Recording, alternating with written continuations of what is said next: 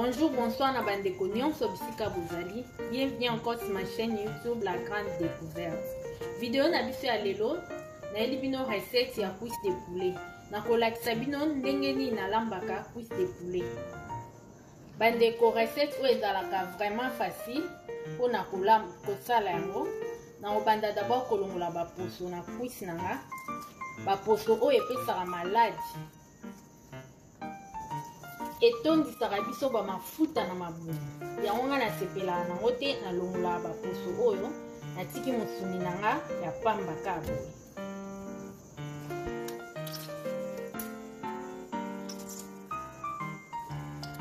voilà bandeko nasilisi osokola kwisi na nga kolongola kwisi na nga baposo nakosokola yango na eau tiède sikoyo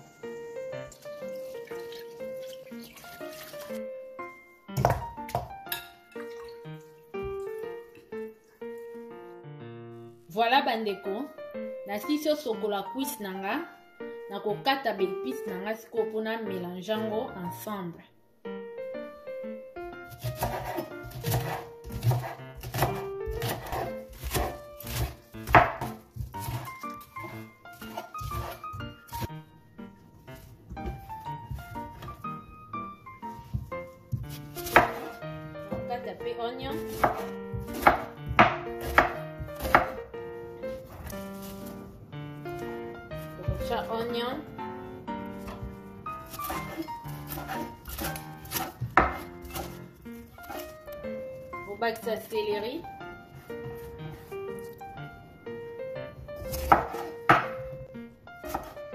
sape poivron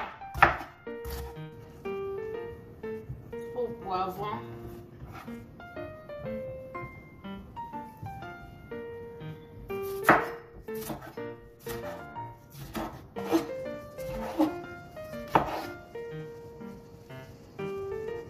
tokotia tomate ya mbuma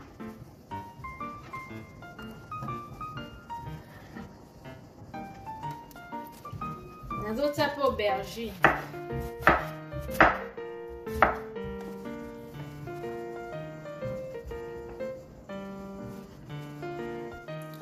naobakisa pima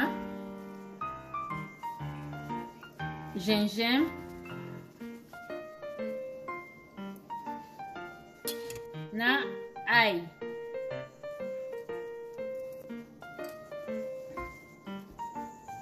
nakobakisa black pepper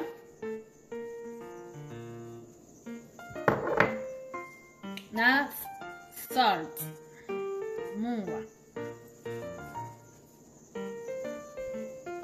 na kipe simple mpe nazotyaka moko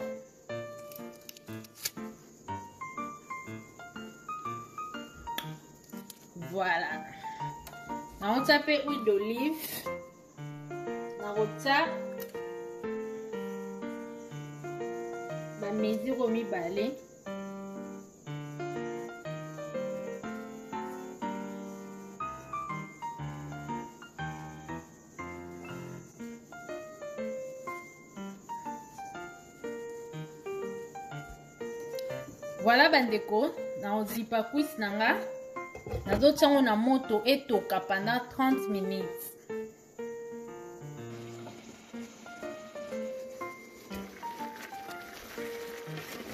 nakobalola yango moke mpo baepice esangana bien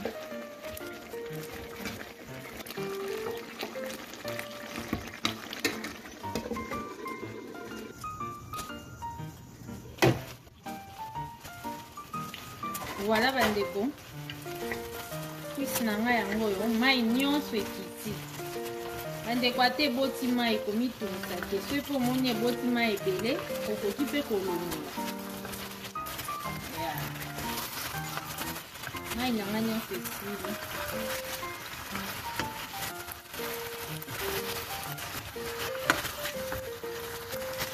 bandeko recette oyo eza vraiment facile nde nayebisaki bino bomonai nde natiaki biloko nyonso mbala moko baepice na ngai ezalaki ebele mais ntango etoki nango mai nyonso ekiti baepice nyonso mpe esali lokola elimwe nango eza na kati partout ozali ndeko ya mso okoki mituna kwisi oyo tokolia yango na nini okokolia kwisi oyo na kwanga na fufu na loso okoki mpe kolia yango na makemba na lipa mpe okolia sans problème eza vraiment kitoko bandeko et merci na bandeko nyonso baoza occasion kotala